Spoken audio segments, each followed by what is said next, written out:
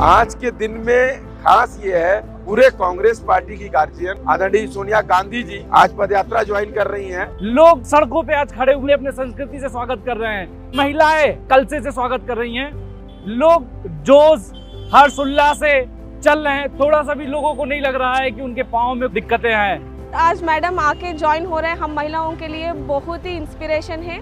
साफ़ साफ़ एक संदेश है कि कुछ भी हो कैसे भी करके हम भारत को जोड़ेंगे। हमेशा सोनिया गांधी जी और कांग्रेस पार्टी का ये विचार होता है कि सभी धर्मों को लोग को एक करके हमने भाईचारा आपस में बनाना है और आगे बढ़ना है।